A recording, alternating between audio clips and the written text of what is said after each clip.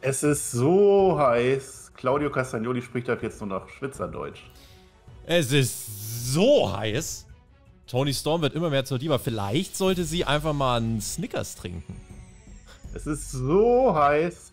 Selbst Jack Perry bekommt so langsam Heat. Wir haben AW Dynamite für euch geschaut, denn äh, übrigens, Freunde, wenn ihr es nicht mitgekriegt habt, in zwei Wochen ist schon wieder Stadion. Neue Woche, neue Ausgabe Dynamite. Wir blicken auf alle Ergebnisse und Ereignisse zurück und bewerten die Show. Hört den Spotfight Wrestling Podcast mit der Review zu AEW Dynamite. Send Hook!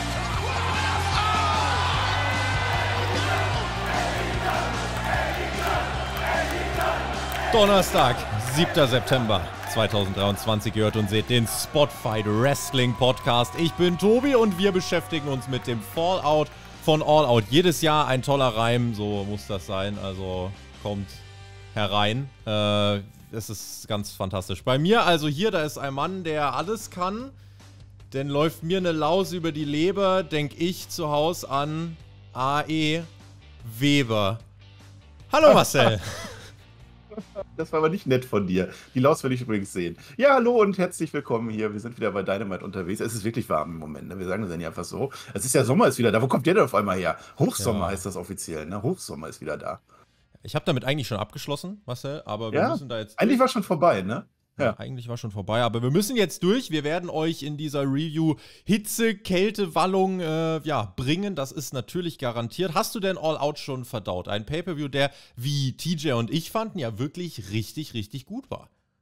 Ich habe All Out verdaut. Ich habe es natürlich geguckt. Ja, er war richtig gut. Ich würde nicht sagen richtig, richtig gut. Also angesichts der Umstände, man muss es ja immer im Kontext sehen, haben wir letzte Woche gelernt, war der richtig, richtig gut, weil die mhm. haben mehr draus gemacht, als ich erwartet hätte. Aber für ein Pay-Per-View selber war es nur richtig gut. Ne? Was war denn mein Match of the Night? Ich habe es mir aufgeschrieben, Brian Dennison, selbstverständlich so. gegen Ricky Starks. Das fand ich am besten, definitiv. Äh, Main Event war auch gut, erstaunlich gut. John Moxley, Glückwunsch. Ne? Orange Cassidy müssen wir gleich mal gucken, wie es weitergeht. Mhm. Äh, mein Moment der Nacht war natürlich Lana. Das ist ja klar, die ja nicht Lana heißt oder wie auch immer. Ne? Weil erstmal, ihr, ihr Mann wird ja gerade erhört. Äh, stirbt dann fast und sie kommt erstmal raus und macht erstmal eine Entrance und post dann da. Okay. Aber was danach passiert ist, fand ich sehr spannend mit der Lana, wo dann der Büro gesagt hat, nee, will ich gar nicht. Das war, das war interessantes Storytelling. Der des Rodman war dabei, das gibt schon mal einen Stern mehr, das ist natürlich klar. äh, und äh, was haben wir noch für Matches? Zu den anderen habe ich, glaube ich, nichts zu sagen. Omega gegen Takeshi hat mir auch gut gefallen. Hm. Also alles in allem war das schon äh, sehr Miro gegen Hobbs, äh, der, der Fleischcatch Erstaunlich gut, erstaunlich gut, stimmt, hätte ich auch nicht gedacht. Normalerweise hätte ich das geskippt, aber hat mich, habe ich am Ende tatsächlich ge äh, gehalten. Ähm, also der pay für das, was er war, war wirklich gut. Also das ist nochmal so meine Einschätzung. Ja. Kann man so machen. Ich hätte mir mehr erwartet, allein von den Storylines her, selbstverständlich, aber naja, das haben wir letzte Woche kritisiert. Jetzt habe ich die Show geguckt und für gut befunden.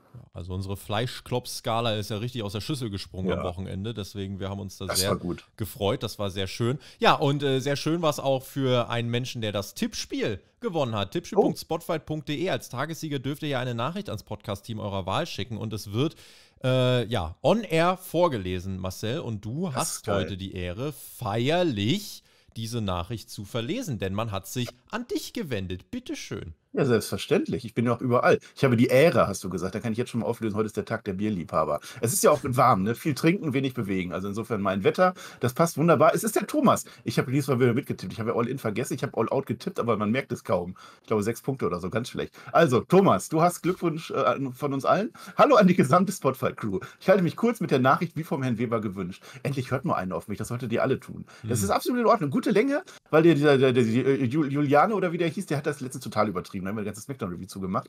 Ähm, danke für euren unermüdlichen Einsatz, Wrestling in Deutschland zu pushen und großes Shoutout an alle vor und hinter den Kulissen für das krasse Pensum, was ihr fahrt mit der Menge und Vielfalt an Podcasts, News etc. Hoffe, euer Einsatz wird immer weiter belohnt und ihr knackt zum Beispiel bald die 600 Patrons. Hashtag Marcel 600. Ah! Zwinker, Zwinker Smiley. Guck mal. Hashtag nee. Marcel 600. Nein. Oh ja.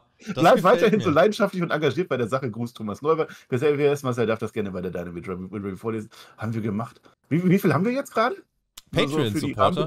Ja. Äh, boah, wir waren, glaube ich, also Ende, jetzt ist ja Monatsanfang wieder gewesen. Ich glaube bei 560, ja. jetzt bei 550. Oh, das also, ist nah. Das oh, oh, oh, eigentlich müssen wir Kanalmitglieder dazu Aber ich war doch schon, ich habe das schon, Ja, aber ich, ich habe doch schon die Haare verloren. Die Matte ist doch ab. Du hast äh, äh, hier Dingens, Tobi 500 haben wir auch durch. Mhm. Dann ist doch eigentlich jetzt der Flöter dran, finde ich. Ich werde dir das mal vorschlagen. Das Flöter 600. Wieder. Flöter 600, ja, ja, oder 650 vielleicht. Das ist 600 ist ein bisschen nah, würde ich sagen.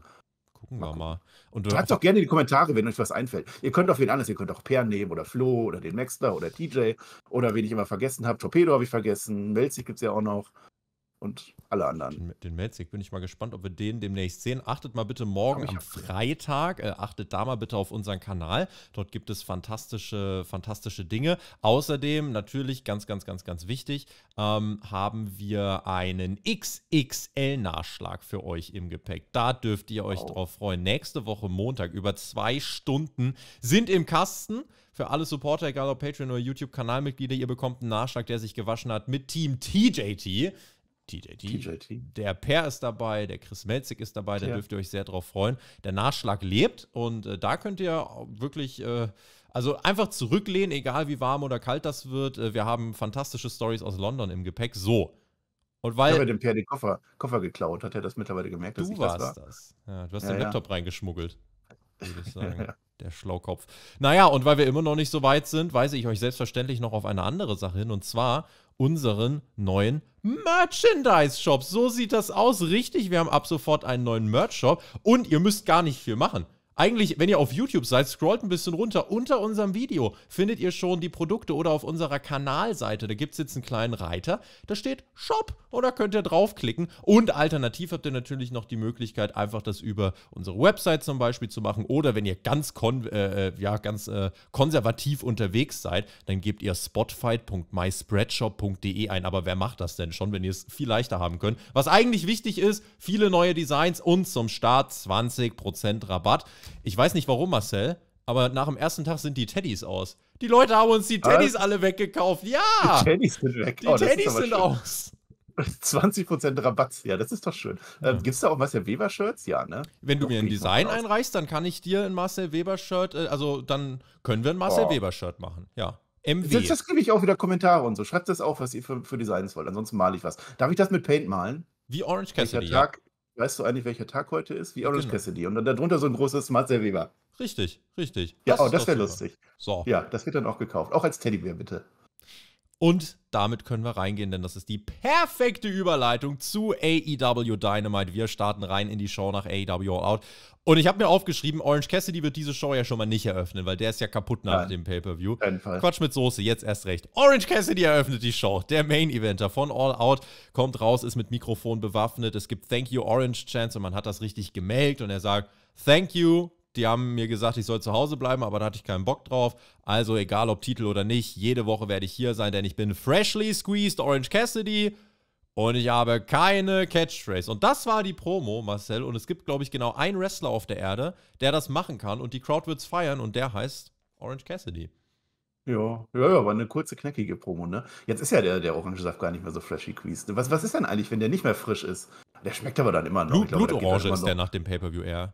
Uh, ja, wahrscheinlich. Ne? Dann gehen wahrscheinlich auch ein bisschen Vitamine raus. Ich habe eine gewisse Chronistenpflicht. Ich möchte das jetzt vorlesen. 326 Tage, das ist natürlich der längste Regent dieser Welt von diesem International Title.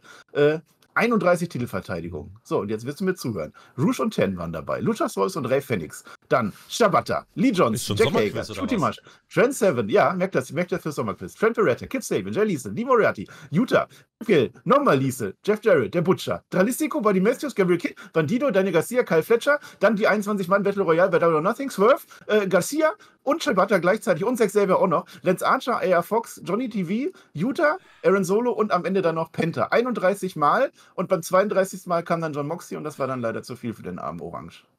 Deswegen muss er den Titel jetzt abgeben, aber wird keine Pause machen. Hat gesagt, der ist hier trotzdem jede Woche dabei. Ja. Ist halt bezeichnend, ne? Jemand gewinnt den Titel, wen schickt Tony Khan raus? Natürlich Orange Cassidy, äh, wo, wo halt jeder andere aus dem Roster ein 30-sekündiges Videopaket gekriegt hätte. Cassidy ist der, der die Live-Promo vor der Crowd bekommt. Und was passiert dann? Orange Cassidy wird unterbrochen von John Moxley. Der kommt raus, weil er jetzt ein Match hat gegen den wohl witzigsten Menschen der Welt, AR Fox. Ich glaube übrigens, bei Orange Cassidy ist das so. Der Tony Khan, ich glaube, der ist vor Dynamite so.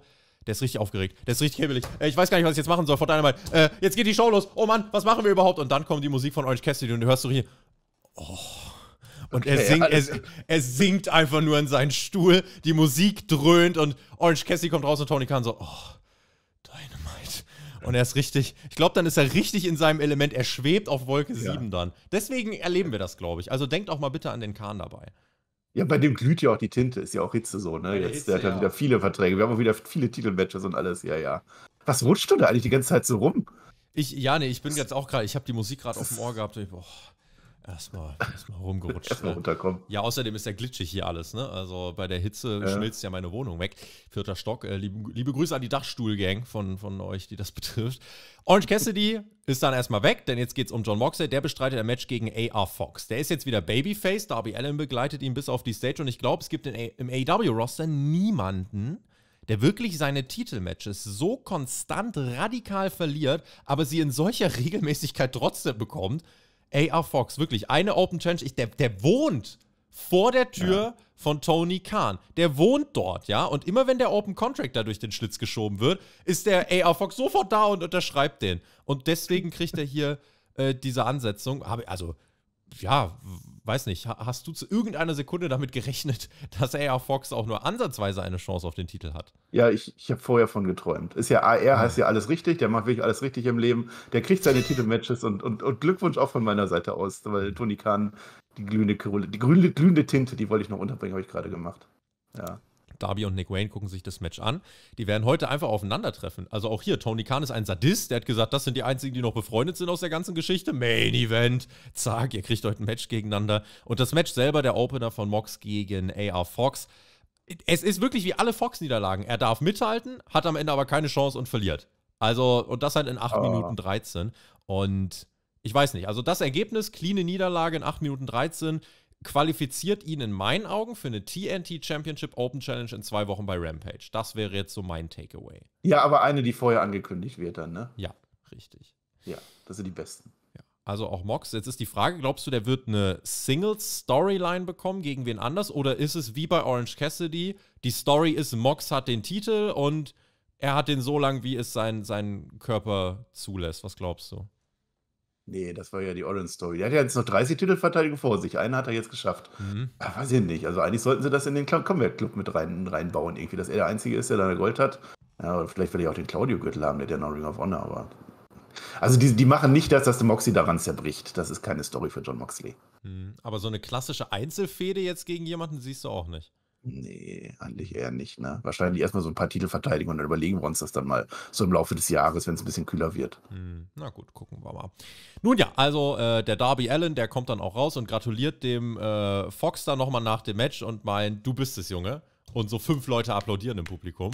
Und dann sehen wir auf der ja. Leinwand Nick Wayne, der von Darby Allen jetzt allein gelassen wurde und der wird äh, konfrontiert von Christian und dem Luchasaurus. Und Christian sagt, ey, ich muss mich entschuldigen ich habe ja Sachen über deinen Vater gesagt, jetzt habe ich mir aber wirklich mal was angeschaut und äh, wirklich, Jesus, äh, hätte ich gewusst, dass der so schlecht ist, der ja noch schlechter als ich dachte. Du brauchst einen richtigen Mentor. Und ganz ehrlich, Darby ist es nicht. Guck dir das halbe Händel an. Denk mal drüber nach und äh, grüß deine Mutter von mir. Das fand ich, fand ich wieder schön. War übrigens Christian Cage, kommt auf die All-Out-Pressekonferenz, setzt sich hin.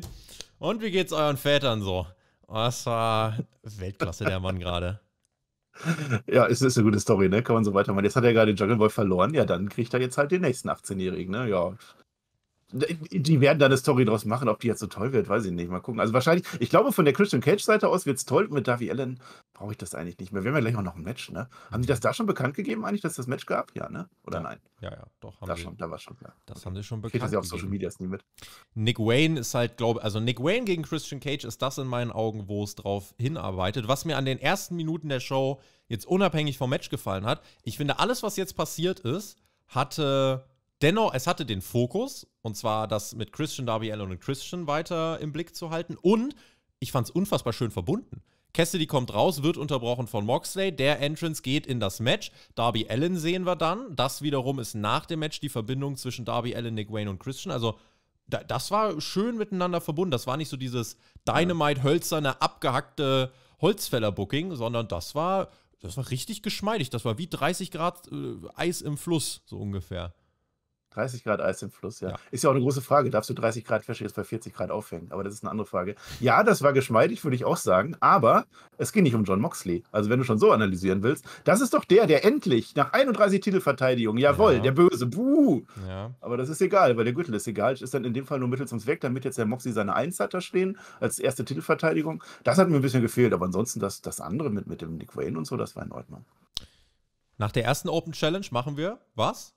Richtig, direkt die nächste Open Challenge. Denn neben AR Fox Ja. wohnt direkt Emi Sakura an der Kahnstraße 2b und sie trifft nun in einem TBS Championship Match auf Chris Statlander. Hier war übrigens die Ja, das- letzten AEW-Matches Das von. war doch jetzt offiziell. Es wurde als Open Challenge announced und Tess hat auch gesagt, man kann sich nicht vorbereiten auf eine Open Challenge. Aber Dynamite fing damit an, ey, Sakura ist heute da. Ja. Gegen Chris Statlander. Ja, was ist denn das für eine Logik? Hier, die hat direkt unterschrieben.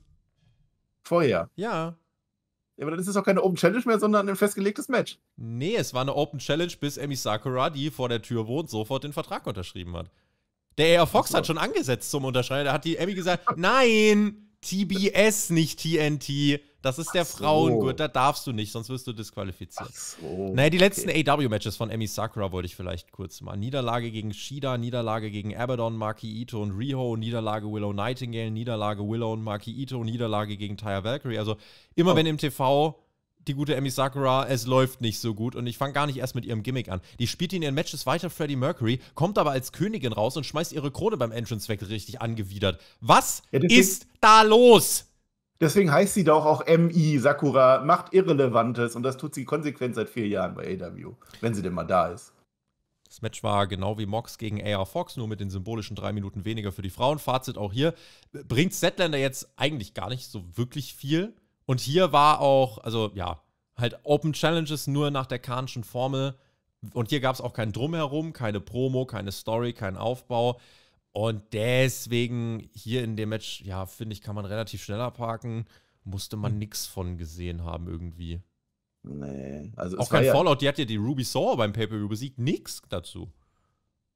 Ja, ein bisschen gleich, ne, mit Tony Storm. Aber ist, äh, das ist eins von diesen Matches, die ich eigentlich nicht mehr so wirklich mag. Also da kommt dann irgendein Böser und äh, die legt ja los wie die Feuerwehr, die Emmy, ne? Und, und macht Move und Move und Move. Äh, übrigens einmal, die, die, die Statlander liegt am Boden auf dem Rücken und Emo Sakura tritt mit dem Fuß oben auf den Kopf drauf. Für mich ist das ein Pin. Hat der Referee nicht mitgekriegt, das ist auch egal. Und dann ist es halt ein Move von Chris Statlander gewinnen. Das ist so die Formel, weiß ich nicht, ob ich die noch brauche. Für Chris Statlander bringt es nichts, für Emo Sakura ja sowieso nicht. Also, und diese Open Challenge verstehe ich nicht. Also eine Open Challenge hat doch das Ziel, dass irgendwas Überraschendes passiert oder dass jemand eine Chance kriegt, der sonst nie eine Chance kriegen würde. Ja, das ist aber sehr viel, das ist sehr viel WWE, denke.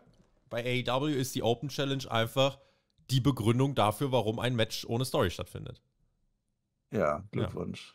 Ja, Ja. Also das ist halt, also da, Ja. da muss man einfach, das ist nun mal der Weg. wie Weil Tony sonst ist ja mehr Story dabei. Wenn das jetzt keine Open Challenge gewesen wäre, und Tony Khan hat gesagt, ich habe gestern schon unterschrieben und ich habe mir die Hand ausgesucht, also ich wollte unbedingt irgendwie Sakura haben, dann wäre natürlich eine bessere Story, das ist klar.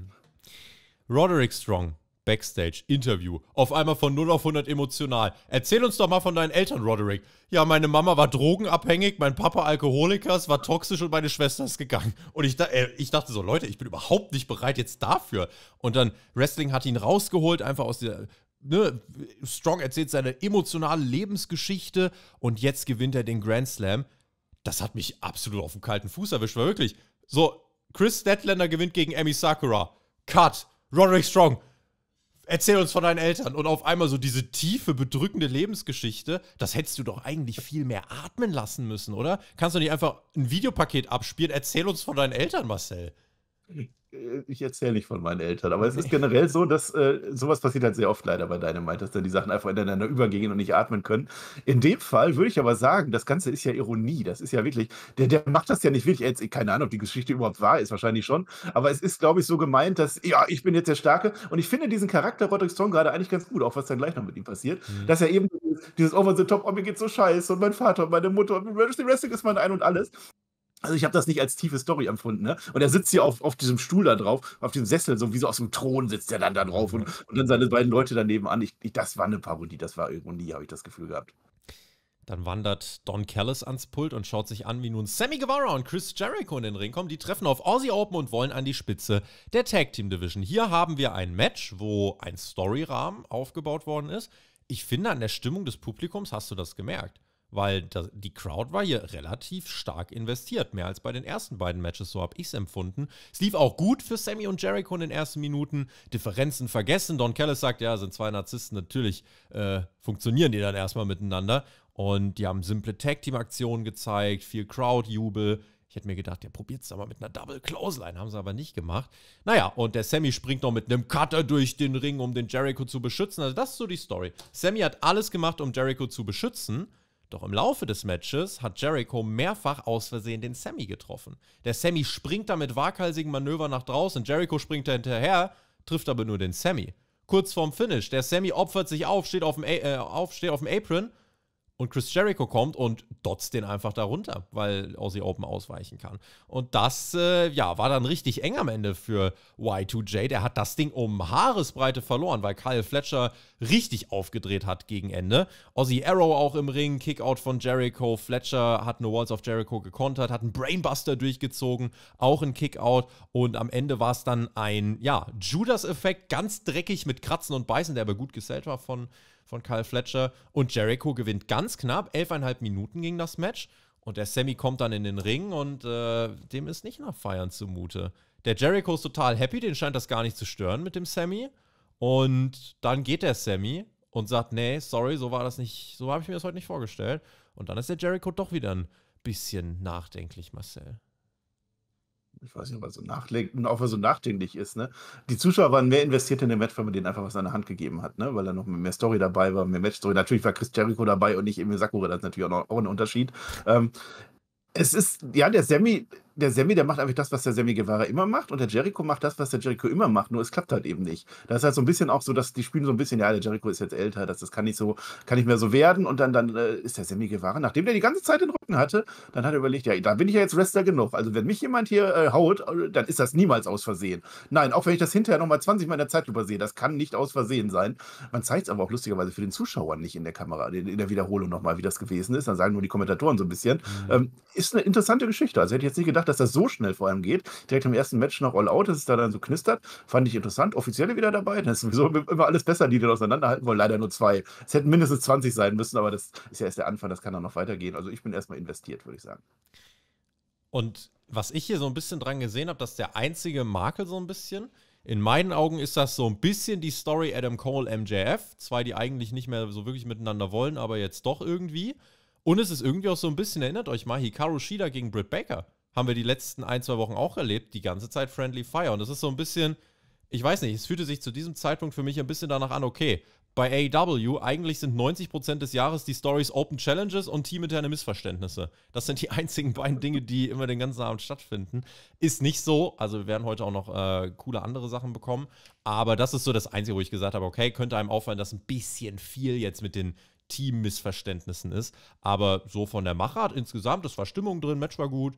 Ähm, und ich glaube, Sammy ist insgesamt der, der von der Charakterentwicklung jetzt am meisten profitieren kann. Und ich denke, das ist auch das Projekt des Ganzen. Denn Sammy als Ziel hat man so ein, zwei Wochen versucht, das hat ja gar nicht geklappt.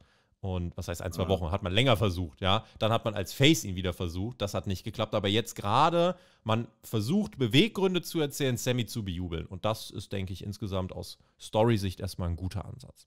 Ja, ja, schon. Also er ist ja der Letzte, der übrig geblieben ist, ne? Dann, Mhm. dann kann man was draus machen. Ich finde aber auch, dass der äh, äh, Chris Jericho, dass, dass der das erste Mal jetzt im Ring zeigen muss, was Sache ist. Vorher hat er ja immer nur eine große Fresse gehabt. Und dann war ja auch dieses große Meeting dann mit dem, mit der ehemaligen Jericho äh, äh, Society. Und dann, jetzt muss er zeigen, was er wirklich kann. Und dann sagt der Sam Guevara, Moment, ich habe dir die ganze Zeit vertraut. Und jetzt machst du hier sowas im Ring. Und dass wir gewonnen haben, ist aber jetzt pures Glück. Ja. Jericho wieder, wenn jetzt die große Fresse haben, sage, ich habe doch gewonnen. Wo warst du denn beim Pin? Also ich glaube, da ist mehr drin. Also also klar, es, es, doppelt sich so ein bisschen mit den Sachen, die du sagst, okay. Aber so ist es halt. Glaubst du, das könnte ein Match für Wrestle Dream sein? In, in knapp einem Monat, Jericho gegen Guevara? Oder glaubst du, so schnell wird es nicht gehen? Full Gear wäre dann noch im November? Ja, ich glaube, da steckt aber mehr drin. Es ist halt die Frage, ob man den Sammy Guevara jetzt groß über Jericho overbringen will und dann wirklich jetzt mhm. monatelang was erzählen will oder ob man Jericho nochmal für was anderes nutzt. Also viel Zeit hat er ja am Ende auch nicht mehr. Also wenn er jetzt nochmal irgendwie ein neues Talent machen will, irgendwas, vielleicht geht er ja doch noch zu Takeshita oder irgendwie sowas, dann glaube ich das eher und dann tatsächlich das schnell abhaken. Weil ich hätte nicht gedacht, dass man so schnell das schon macht. Ich hätte gedacht, man zeigt jetzt nochmal zwei, drei Matches, wo es zwischen den beiden dann doch noch Dann bis ins Titelmatch, weil Jericho und Guevara gegen MJF und Adam Cole oder sowas. Also kann ja auch um die Ring of Honor Tag Team Titel sein, mein Gott. Ansonsten auch gegen ja. FTA wäre auch ein geiles Match gewesen. Ne? Aber ja. da, soweit Ja, neuerdings sind ja gehen. die Ring of Honor Tactical Events sind ja jetzt neuerdings die, wo was mehr passiert, wo was Interessantes ist. Und dann FTA macht dann die geilen Matches, ne? Mhm. Wobei, es ist ja noch nicht komplett aus der Welt, denn Fakt ist, die Sex Gods haben gewonnen. Nur sie standen halt nicht auf einer Seite. Jetzt könnte man natürlich auch eine Jericho-Promo bringen. Jetzt, Sammy, stell dir mal vor, die Fehler passieren nicht. Wer soll uns denn dann noch aufhalten? Und vielleicht Ja. geht's auch Und Jericho wird es so drehen, dass der Sammy schuld ist, weil der hätte ja auch an- woanders stehen können. Im Zweifelsfall das, ne?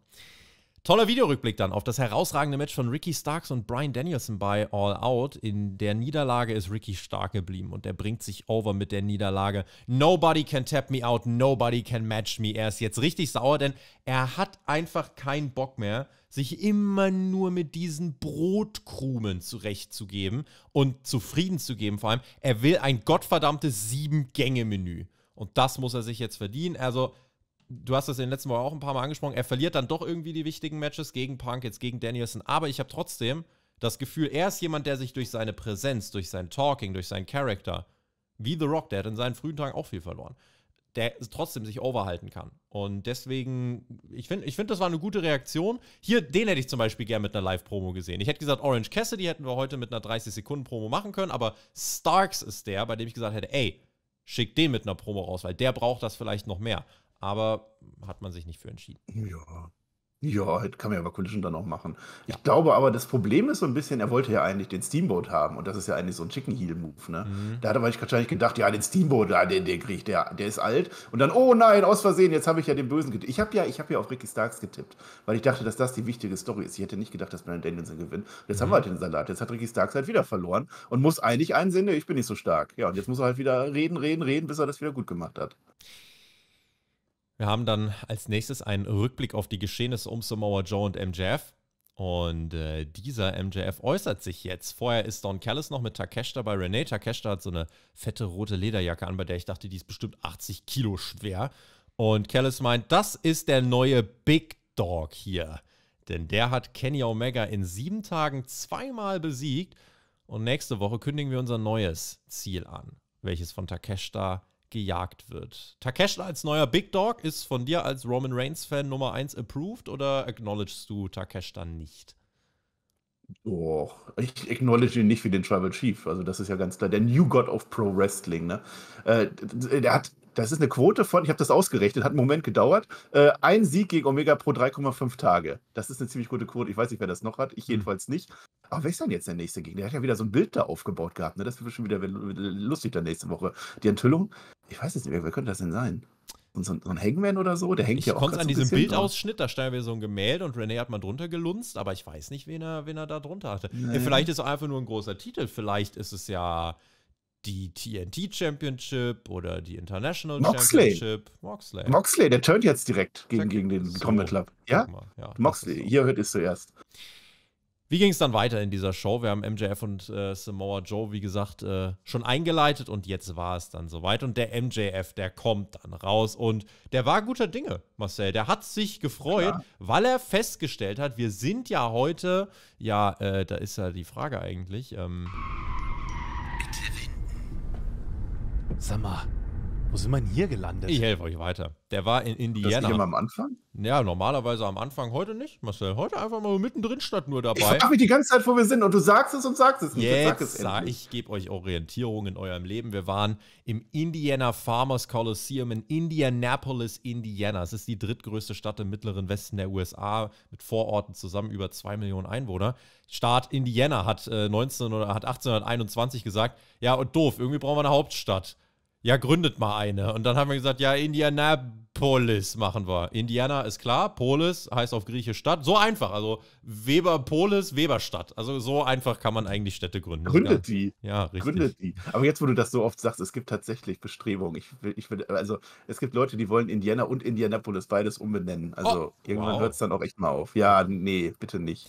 Es wuchs als Verkehrsknotenpunkt in den frühen, äh, in seinen frühen Tagen äh, des Eisenbahnnetzes rapide an. Also als die Eisenbahn äh, einmal da durchgegangen ist, waren die ein richtiger Knotenpunkt. Bis hoch nach Chicago ging das da. Also richtig gut. Außerdem Motorsporthauptstadt, ne? Also IndyCar und so weiter. Ihr erinnert euch, beziehungsweise das Indianapolis 500 Autorennen findet dort statt. Es wird auch als Racing Capital of the World bezeichnet. Äh, tolle Kulturszene und unter anderem den Donut Trail Also den Donutweg. Dieser kulinarische Weg führt zu verschiedenen örtlichen Donutgeschäften in der Stadt, wo verschiedene Oh. Donutkreationen probiert werden können. Und in der Arena, wo wir heute waren, wo kann man bestimmt auch tolle Donuts essen, fand vor allem viel AEW-Wrestling statt. Die waren im November 2019 hier, also wirklich in den frühen Tagen. WWE gar nicht so oft tatsächlich. Liegt aber auch daran, in die Arena passen keine 6000 bei Wrestling rein. Ähm, 3500 waren heute übrigens da. Und ja, das vielleicht so als kleine Erklärung in dieser Kategorie. Und ich glaube, damit haben wir soweit alles abgehakt, oder? Wir checken nochmal. Sie haben Ihr Ziel erreicht. Ach, hier sind wir gelandet. Spannend, oder? Ja. So, danke für deine. Ja, mein, mein Internet ist jetzt auch gerade weg. Ich Ja. gucke gerade nach Fastlane, ist Ach so, ja ja, auch jetzt eine WWE-Sache mal, aber wird passieren, ja. ja, guck in mal. Indianapolis. Also- Deswegen ja auch Fastlane. Und so. Ja, bei Marcel müssen wir kein Schienennetz verlegen und ihn an den Zug anbinden, sondern Internets verlegen, damit er bei uns Ja. bleibt. Ja, Fastlane. Aber was gut wäre, Ja. das wäre so ein Truck. Warum fährt der Coca-Cola-Truck eigentlich immer nur im Winter? Ich fände das so geil, wenn jetzt der Coca-Cola-Truck hier vorbeikommen würde. Kommt nicht. Marktlücke, ne? Wie kommst du jetzt Ja. auf den Coca-Cola-Truck? Was hatte ich jetzt da drauf gebracht? Ja, weil du sagst Schienen und Verkehr und so. Und ich fand das lustig. Da denkst du als er bei Schienen und Verkehr denkst du als erst an den Coca-Cola-Truck. Ich denke manchmal sehr merkwürdig, Tobi. Da- da- Das ist richtig. Äh, der MJF ist da. Freut sich, dass er heute hier ist in Indianapolis. Spricht über New York, wird er auch bald zurückkehren. Der Grand Slam ist da ja. Und da muss er seinen Titel verteidigen. Hat aber ein Problem mit einem Mann. Und der heißt Samoa Joe. Und der kommt noch heraus. Und wir bekommen das, was wir bei Punk gegen Joe nie bekommen haben in den letzten Wochen, nämlich ein Promo-Duell. Und Joe kommt raus und sagt: Ich dachte, ich höre mir mal aus der ersten Reihe an, äh, was du zu sagen hast. Ich schau mal bisschen zu, Kid. Und MJF meint, oh, Moment mal, du bist da nur rausgekommen, weil du meine Entrance-Musik gehört hast und die für die Mucke von einem Eismann oder so gehalten hast. Und das hier kommt ein Eiswagen oder sowas lang, lang gefahren. Das tropft dann Joe komplett ab. Er fragt dann nochmal, was ist dein Problem, Kid? Und MJF meint, total kreativ, du hast zweimal dasselbe gesagt. Wow, ich bin auch übrigens sehr kreativ. Will jemand MJF hören, wie er kreativ wird? Indianapolis, habt ihr Bock? Und die Bock. Und dann beleidigen sie sich und, und sprechen über primäre und sekundäre Geschlechtsmerkmale, über Längen, Dicken und Breiten, bis Joe dann zu das Ganze zu blöd und sagt, Max, jetzt im Ernst. Was ist dein Problem, Kid? Und MJF sagt noch einmal und ich hau dir aufs Maul. Und ganz schnell sagt, oh, okay, stopp, stopp, stopp, Timeout. Du, du willst das ja. Du willst doch, dass ich ausraste. Ganz ehrlich, ey, es gibt ein Turnier, das kannst du gewinnen und ja, dann treffen wir doch aufeinander. Dann gibt's Fuck You Joe Chance, der reagiert mit Leute, ihr seid mit eurer Mutter hier, benehmt euch doch mal. Und wer dann dachte, ja, oh, gutes Segment, es ging ja noch weiter. Denn als nächstes wurde gefragt, who's ready for Storytime mit MJF? Und wir wussten ja, was kommt. Er spricht ein Tryout an, was er bei WWE hatte in Brooklyn. Das war das, wo William Regal ihn zur Brust genommen hat, gesagt hat, ja, schick mir mal jeden Monat ein Tape, du bist zu jung, aber wir, wir nehmen dich unter Vertrag, was ja nicht geklappt hat dann, ja, wo MJF richtig sauer auf den Regal war. Und MJF hat gesagt, ja, den alten Mann habe ich wenigstens zurück zu NXT gesch- hingeschickt, wo er hingehört. Ja, und Joe eigentlich, äh, you're next, du gehörst da ja auch wieder hin. Huiuiuiui. Und MJF wurde damals gepitcht als Security Guard von Samoa Joe mit aufzutreten.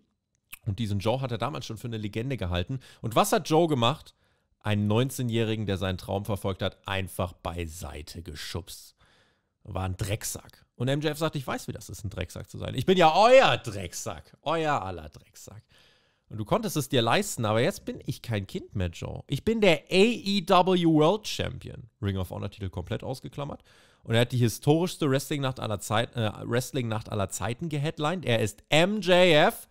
Also, Joe, wenn ich du wäre, würde ich mir aus dem Weg gehen, denn sonst bin ich der, der dich killt. Dann gibt's Max, Max is gonna kill you Chance. Alles, weil ich Maxwell Jacob Friedman bin and I'm better than you and you know it. Und dann erklärt sich Joe. Er sagt, ich hab dich nicht geschubst, weil ich dachte, du bist ein Kind. Ich dachte, du bist du kleine Bitch. Und dann setzt eine Ohrfeige von MJF und der Joe, man könnte, dachten, der, man könnte da, äh, denken, der rastet jetzt richtig aus. Nö, der lächelt das weg und meint, du kannst mich nicht provozieren. Ich werde das Turnier gewinnen, dann sehen wir uns wieder und bis dahin, have a nice day. Und der MJF, für den ist das Ganze abgehakt. Er will den Ring verlassen, aber Samoa Joe wäre nicht Samoa Joe. Wenn er nicht noch die Attacke startet, posiert mit dem AEW World Title, fand ich ein episches Bild. Und der MJF kontert selber aber nochmal mit einem Low Blow, greift dann auch wieder zu den dreckigen Taktiken. Crowd geht steil, äh, MJF zerreißt sein Hemd, wird mit einem Uranage aber geplättet. Ansatz zum Musclebuster, doch Adam Cole macht den entscheidenden Save und beschützt seinen Freund.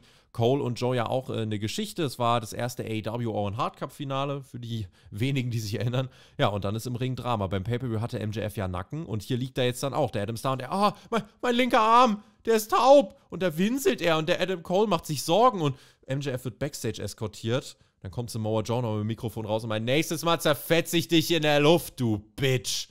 Und das war bis hierhin, das war noch nicht vorbei, aber bis hierhin war das erstmal das Segment. Also, ich konnte mich nicht beklagen. Sagt mal aber nicht, dass das, ne, die Hündin musst du immer sagen. Du musst das ja immer umschreiben. Ja. War eine gute, gute Promo auf alle Fälle von beiden. Also, das ist, äh, das ist Samoa Joe ist da immer sehr intensiv und MJF schafft es halt, dieses Schleimige, Mhm. gleichzeitig mit dem Anbiedernden und irgendwie mögen wir ihn doch und dann, aber dann, dann haut er da doch noch seine Sprüche raus. Er will kreativ werden.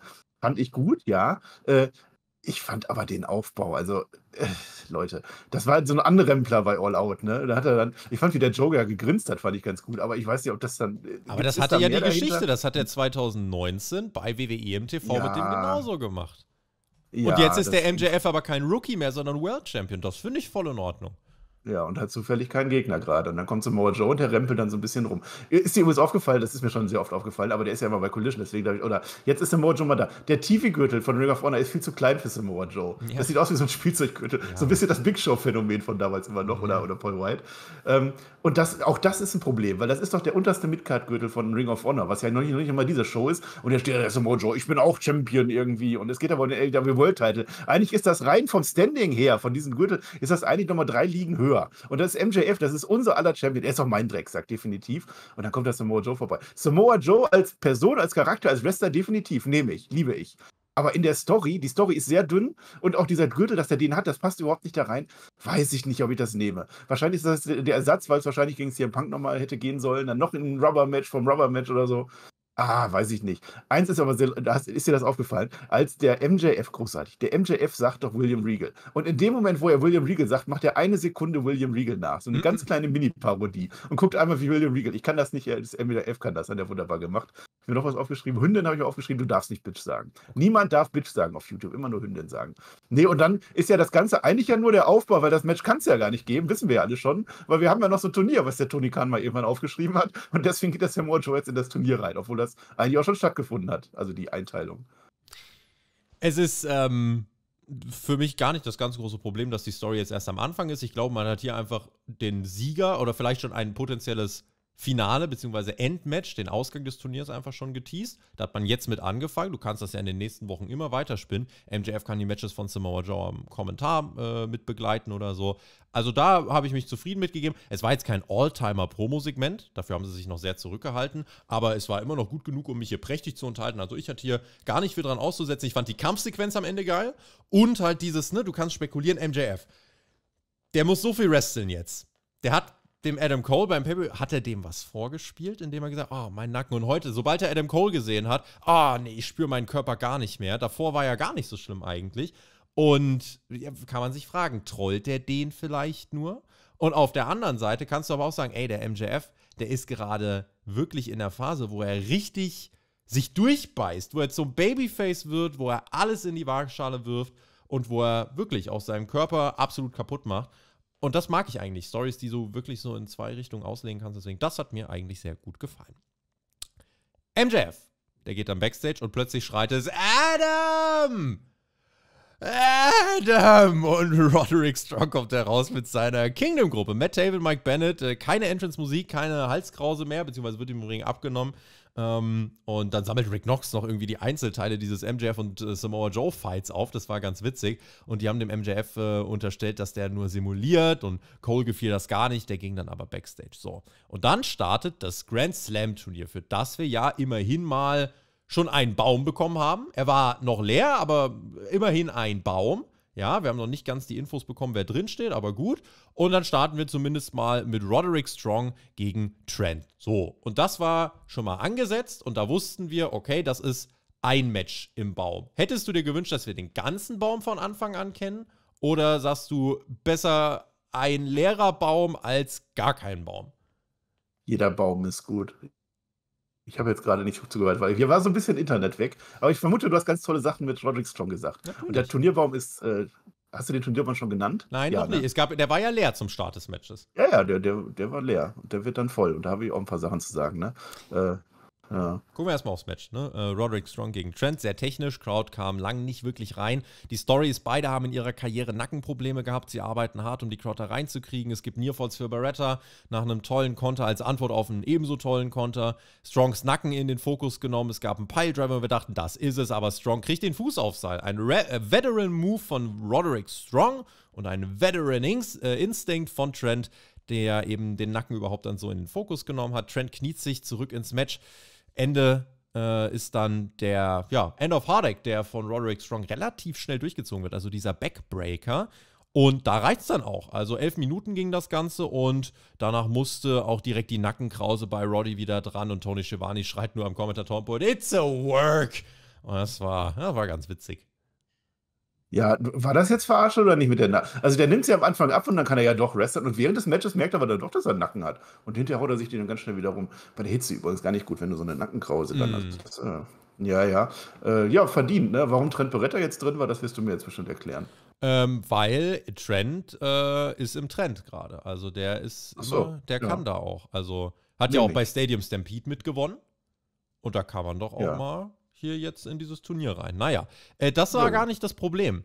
Denn nach dem Match bekommen wir einen Baum. Also wirklich einen kompletten Baum. Jetzt. Ja, endlich wissen wir, wer jetzt die Chance bekommt auf die AW World Championship. Und ihr macht jetzt mal bitte eine Sache mit mir.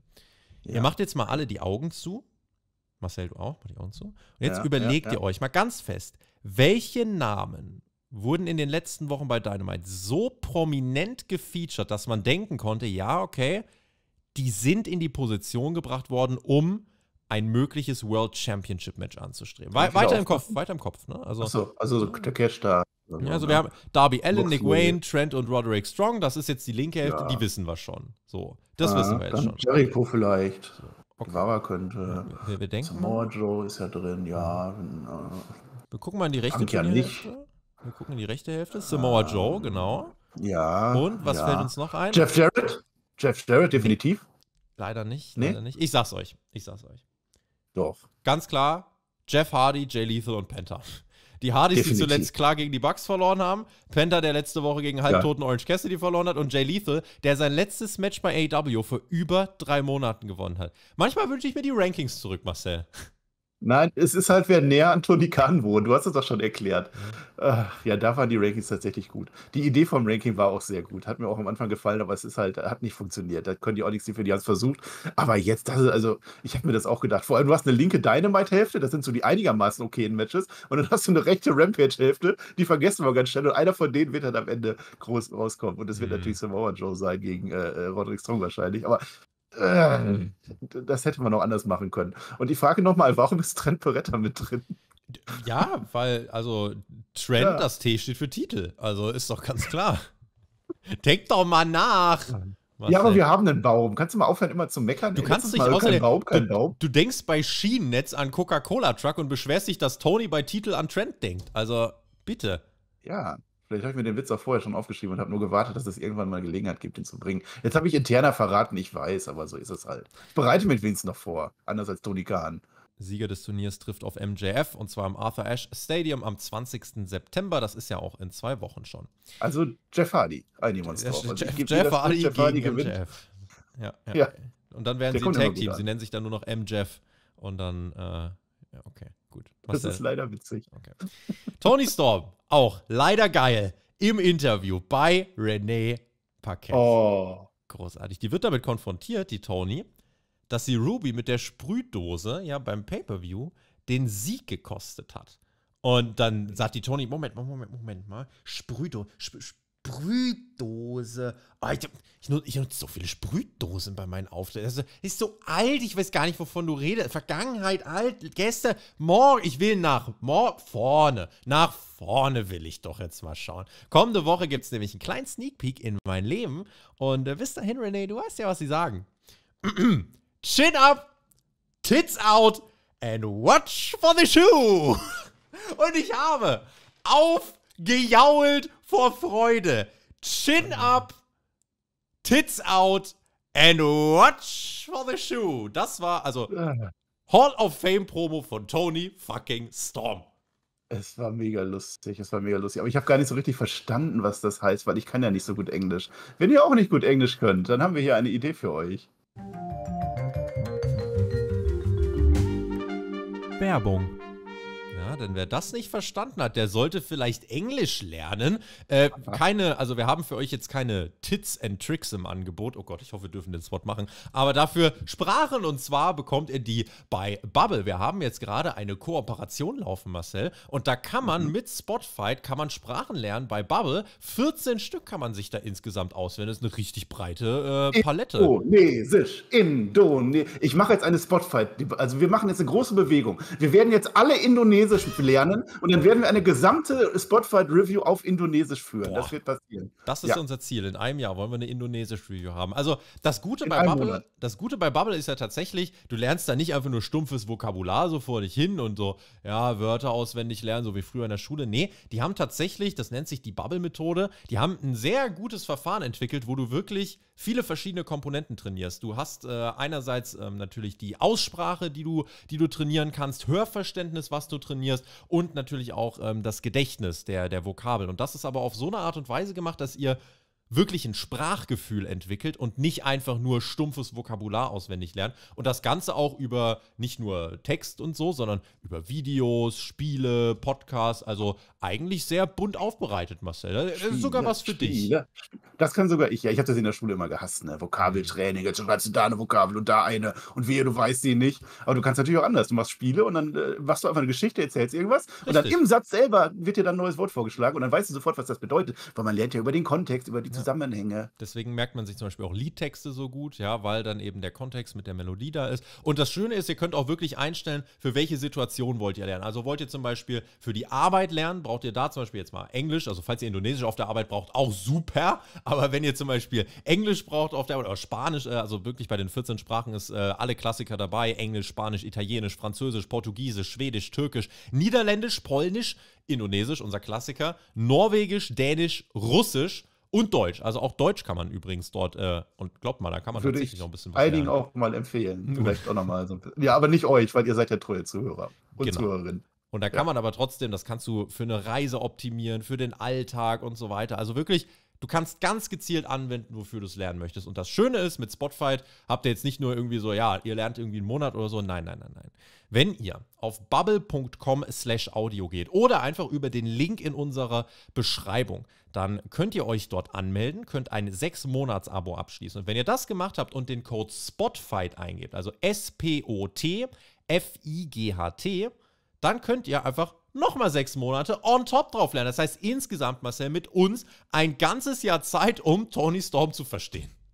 Zweimal Indonesisch. Ihr könnt den gesamten so. Kurs zweimal durchspielen und einmal gratis geht lau auf Spotify. Großartig. So also ich würde das definitiv machen. Und es ist aber tatsächlich jetzt mal unter uns, also Englisch lernen, vor allem als Wrestling-Fan, es hilft schon sehr. Also wenn ihr da nicht so gut drauf seid, ich habe auch immer wieder Leute, die dann sagen, könnt ihr das mal übersetzen in den mhm. Reviews, machen wir natürlich gerne. Aber es ist wirklich deutlich besser, wenn man das auch im Originalton guckt beim Wrestling. Auf jeden Fall. Also, wenn ihr die Möglichkeit ergreifen wollt, ihr unterstützt uns übrigens auch damit. Das heißt, es landet bei uns ja. eine Provision. Äh, das ist dann eben unser Anteil. Aber wir finden auch, es ist einfach ein guter Partner, weil das passt einfach. Ja, und deswegen, wenn ihr Bock habt, Sprachen lernen mit Bubble und Spotify unterstützen, dann bubble.com/slash audio, Link in der Beschreibung. Und dann einfach mit dem Code Spotify sechs Monate abonnieren und ein ganzes Jahr lernen. Werbung Tony Storm, eine Frau von Welt. Wir lieben sie. For the shoe! For the du hast ja die Pointe noch gar nicht gesagt. Jetzt sag die Pointe. Ja, der Schuh fliegt dann halt wieder auf die Renee. Es war toll. Es, es war sehr lustig. Ich lese nochmal vor: Chin up, tits out and watch for the shoe. Das war das Lustige, was ich seit sehr langer Zeit gesehen ja. habe. Also Tony Storm, diese neue Rolle, es ist wunderbar. Wieder andere Haare und dann fliegt am Ende tatsächlich der Schuh und René Parkett so: Was machst du da jetzt gerade? Also guckt euch das bitte an. Sehr, sehr lustig. Ich sag Keine dir, große Story, aber es ist ja egal in dem Fall. Ich sag dir, Tony Storm wird damit aber in der Halle mehr overkommen, als mit jedem Wrestling-Match, was er innerhalb der letzten sechs Monate bestritten hat. Ich sag's dir. Ja, wenn du einschaltest, du siehst, ach, das ist Tony Storm und egal was die macht, die fällt auf in ja. dem Fall. Der Hangman Adam Page, der ist auch aufgefallen. Und zwar als Gewinner der Over-Budget Battle Royal beim Pay-Per-View in der Zero Hour. Und jetzt ist er für ein Interview mit Tony Schiavone im Ring angesetzt. Was ein Wochenende, sagt er. 50.000 sind an den Chicago Education Fund gegangen. An alle Lehrer, ihr seid unterbezahlt, nicht genug äh, wertgeschätzt, ihr seid die Besten. Und da gibt es lauten Jubel für. Und der Hangman will da nicht nach hinten schauen, wie die Tony, der will nach vorne schauen. Und es soll darum gehen, was er mit dem Rest seines Jahres eigentlich so machen will. Und bevor er was sagen kann, ertönt die Musik von einem Mann, den wir seit All In nicht gesehen haben. Und das ist Swerve Strickland. Der kommt heraus, sehr sparsamer Blick. Prince Nana, ein einziger Vibe, wie der die ganze Zeit am Abgehen ist. No, no, no, no, no, no, no, no, no, no. Großartig. Also Prince Nana, ein, ein wandelndes Meme, sensationell. Und Swerve meinte, ich lag jetzt zwei Wochen im Sarg. Ich war zwei Wochen oh. eingekoffert. Und da wird man klar im Kopf. Und er dachte, als er aus dem Sarg rausging, als erstes an den Hangman Adam Page. Da habe ich mir auch erstmal gedacht, hä, was, ah. warum denn das jetzt? Und dann sagt er, Junge, Charity. Dein Ernst? Aus den Kindern wird erstens eh nichts und zweitens, du stehst in der Zero Hour des Pay-Per-Views und gibst dich mit Charity zufrieden. Statt auf der Maincard um Titel zu kämpfen, du warst mal ganz oben. Hast alles aufgebaut hier. Du hast äh, mit dafür gesorgt. Ohne dich wären keine 81.000 Wembley gewesen. Du warst handpicked von Tag 1. Du warst einer der ersten großen Player in dieser Liga. Und Jetzt stehst du in Pre-Shows. Du hast das Feuer verloren. Du hast seit einem Jahr keine neue Wrestling-Gear, keinen neuen Merch. Alles same old, same old. Aber Hauptsache einen neuen Vertrag, den du unterschrieben hast. Ja, sieht so aus, als hättest du gut gegessen, Hangman. Das sieht man dir an. Du hast keine Singles-Matches, keine Singles-Promos, keine Titel-Matches. Ich glaube, du hast es dir einfach bequem gemacht. Und ganz ehrlich, hätte ich eine Chance bekommen, ich wäre heute der erste schwarze AEW World Champion. Ich würde für den Spot töten, den du hast. Deswegen gibt es jetzt zwei Optionen. Option A, reite in den Sonnenuntergang, kleiner Cowboy, und ich mache AW zu Whose House? Swerve's House. Und Option B, du raffst dich mal, holst dir Motivation zurück und zeigst den Leuten, was Cowboy-Shit wirklich ist. Wie dem auch sei, das Endergebnis ist das gleiche. Ich werde mir den Platz nehmen, den du scheinbar gar nicht mehr willst. Und der Hangman meint, wenn du ein Match gegen mich willst, dann geh nach hinten und holst dir. Unterschreibst so einen Tony Khan-Vertrag und gut ist. Und ja, dann steht Swerve im Ring, Hangman geht gerade und dann sagt der Swerve, ja, schade, dass deine Frau und deine Kinder jetzt am TV wieder sitzen und mal wieder sehen, wie du vor der Verantwortung wegrennst. Oh, und das trifft den Hangman. Und dann dreht er um. Und dann geht er Ring, für wen hältst du dich eigentlich? Und dann gibt es aber die Attacke von Brian Cage. Das war natürlich orchestriert von Swerve. Und der Brian Cage zerpflückt den Hangman. Und damit endet ein wirklich, wie ich fand, Marcel, richtig gutes Segment. Weil am Anfang dachte ich mir, in welche Richtung soll das jetzt gehen? Aber ich fand, Swerve hat seine Rolle hier unfassbar gut gespielt. Und jetzt will ich das sehen. Ja, ja, ja, du schon. Also orchestriert ist auch so ein Wort, das kann man bei Bubble auch lernen. Ich mache noch mal ein bisschen Werbung hinten raus. Also, sagen wir mal so, woran erkennst du, dass du bei AW nicht mehr so wirklich im Vordergrund stehst? Ja, du bekommst ein Promoduell mit Swerve Strickland. Ne? Das, ist, das muss passieren. Ja, der, der Swerve, der macht das schon gut, das möchte ich sagen. Also, das, das stimmt schon. Und Prinz Nana natürlich wandelt am Meme, sagst, es ist lustig. Zwei Wochen im Sarg habe ich auch lustig gefunden. Aber ich erwarte doch eigentlich mehr vom Hangman. Er sagt ja sogar selber, er wollte ja nicht mal in diese Battle Royale, der war ja gar nicht angekündigt. So, die haben mich angerufen, bin ich gekommen, habe ich gewonnen. Also so wichtig war die. Ja, und Lehrer sind so toll, dass er als Lehrer zurückgetreten ist, um Wrestler zu werden. Ja, nehme ich dann auch nicht so sehr. Ah, und dann kommt dann Brian Cage. Okay. Aber das ist doch nicht der Hangman, den ich sehen will. Das ist. Also nachdem, nachdem er diesen World Title gewonnen hat gegen Kenny Omega, sind wir uns ja einig, das war natürlich der, der, der Höhepunkt der Highlight und danach kam dann nicht mehr viel. Da muss man dann auch mal ein bisschen abkühlen, ein bisschen rausnehmen. Aber jetzt ist doch der Zeitpunkt. Jetzt kannst du das doch machen. Und jetzt kannst du den doch auch in dieses World Title Turnier reinstecken zum Beispiel. Ich habe gerade Hangman gesagt, der würde da doch mehr reinpassen als ein Trent Beretta oder was auch immer. Ich finde, das hat der, da hätte Hangman mehr verdient. Und auch mit der Elite oder was auch immer man da machen kann. Und jetzt toll, dann hat Swerve Strickland jetzt halt tolle Sachen gesagt, aber ich finde diese Story noch sehr, sehr mau zu diesem Zeitpunkt da bist du jetzt von uns beiden allein. Ich fand das nämlich sehr gut und ich hatte richtig Bock mhm. drauf. Aber ich glaube, es liegt einfach daran, dass ich Swerve einfach nicht so weit unten einordne wie du. Und ich sage, der Hangman ist halt ein gefestigter Player bei AEW, der in der Lage ist, andere over zu bringen. Und wenn wir jetzt eine Fehde bekommen, die Richtung Wrestle Dream und, und Full Gear geht, das ist das Schöne. Wir haben jetzt zwei Pay-Per-Views, das heißt, du kannst zwei Matches schön Back-to-Back -back aufbauen. Ähm, dann sehe ich das als eine coole Paarung an. Und ist der Hangman dann die, die Mogul Embassy dann, dann hoch? Ja, der soll die erstmal gerade oh. auseinandernehmen, aber am Ende gewinnt Swerve. Also Swerve hat jetzt die Fehde gegen Darby verloren. Mein, äh, mein äh, Entschluss wäre dann, ja, okay, dann, dann, sollte er jetzt gewinnen. Ja, ja, kann ja sein, aber dann hast du ja wieder das Problem, ich weiß, der TJ hat das in jeder zweiten Folge gesagt, dann hat er jetzt dann der Swerve gegen jemanden gewonnen, der ja offensichtlich gerade ganz am Boden ist und nichts aus seinen Sachen macht. Hat er gerade gesagt, wie schlecht du bist. Du bist Battle Royale, was willst du denn da? Du, du kannst ja eigentlich mehr, aber Der irgendwie auch Hangman nicht. kann sich ja mit Promos wieder reinbringen. Der kann ja. Also, Swerve Strickland kann zu diesem Zeitpunkt nicht an dem Hangman wachsen. Das glaube ich nicht. ich glaube, wenn der Hangman, äh, er wird ja ein Match gegen Brian Cage kriegen. Das wurde lustigerweise, hat man uns dann angekündigt gleich. Brian Cage gegen Hangman Adam Page, Teil 3. Und ich so, äh, ich habe nicht meinen ersten gefühlt mitgekriegt. Das war ganz witzig. Das haben wir uns angekündigt. Aber ganz ehrlich, wenn der Hangman da stark delivert in diesem Match, wenn er dann eine starke Promo hält, er kann das Feuer ja showcasen. Er kann sagen, so Swerve, ich zeig dir, dass ich das Feuer habe. Und das kann er ja beweisen. Er kann die Crowd hinter sich bringen. Und wenn Swerve dann gewinnt, dann bedeutet der Sieg auch was. Und vor allem finde ich es deswegen gut, weil hier sind jetzt mal keine Teamdifferenzen. Es ist mal keine Open Challenge. Es ist eine Storyline. Es ist ein inhaltlicher Ansatz. Und das finde ich gut. Und das, wie gesagt, da finde ich, haben alle ihre Rolle gut gespielt. Und dem Hangman konnte man das schon so ein bisschen unterstellen, finde ich. Und das ist von Swerve nicht aus der Luft gegriffen, dass irgendwie ein Heel sagt, äh, ich finde dich jetzt kacke und will Respekt oder so, sondern ich finde, hier ist eine solide Basis und deswegen gefällt mir das sehr gut. Das ist immer wichtig, dass der Heel was Vernünftiges sagt. Und da hat er ja recht, das stimmt schon. Wenn das so kommt, mal gucken, vielleicht lasse ich mich überzeugen. Wenn es nicht so kommt, dann kommt es natürlich so, dass die Young Bucks dann noch dazukommen und vielleicht Kenny Omega und dann Ja. gibt es natürlich 4 gegen 4 dann. Das ist ein klassisches Full Gear Match, finde ich. So sieht das nämlich aus. Machen wir mit.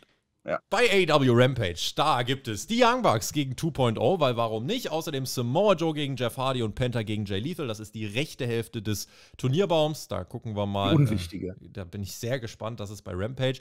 Ähm, dann hörten wir auch noch mal von allen eigentlich total wichtig, diese Rampage-Ausgabe. Bei Collision Ja, ja. kriegen wir dann Roderick Strong gegen den Gewinner des Main Events gleich, Darby Allen oder Nick Wayne. Und Jeff Hardy oder Samoa Joe gegen Jay Lethal oder Penta. Dann hören wir außerdem von Brian Danielson, der beim Pay-Per-View gewonnen hat. Der Bullet Club Gold ist da. Von Saraya und Ruby Soho hören wir auch. Und die Acclaimed, von denen werden wir auch was auf die Ohren bekommen. Das ist doch mal ein Line-Up. Würde ich sagen, ne? Also da sind diverse Sachen bei, die mich interessieren. Ich guck's mir an. So, und Dynamite ist nächste Woche auch. Da findet schon das Turnierfinale dann tatsächlich statt. Ja, sowie das Grand Slam Women's Championship Four-Way Eliminator Match aus acht Worten bestehen. Es geht darum, wer Saraya herausfordert äh, und Aha. ja, und halt. Ja, aber da sind doch jetzt bestimmt die drin, die gerade so ziemlich stark sind. Also zum Beispiel Chris Statlander hat ja gerade gewonnen, würde ich sagen, als einzige, ne?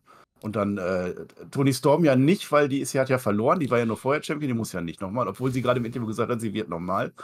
Oder? Wer ist denn drin, sag mal? Es geht, also drin sind Britt Baker, Hikaru Shida, Nyla Rose und Tony oder Storm. Und im Endeffekt kriegen wir einfach eine Ansetzung.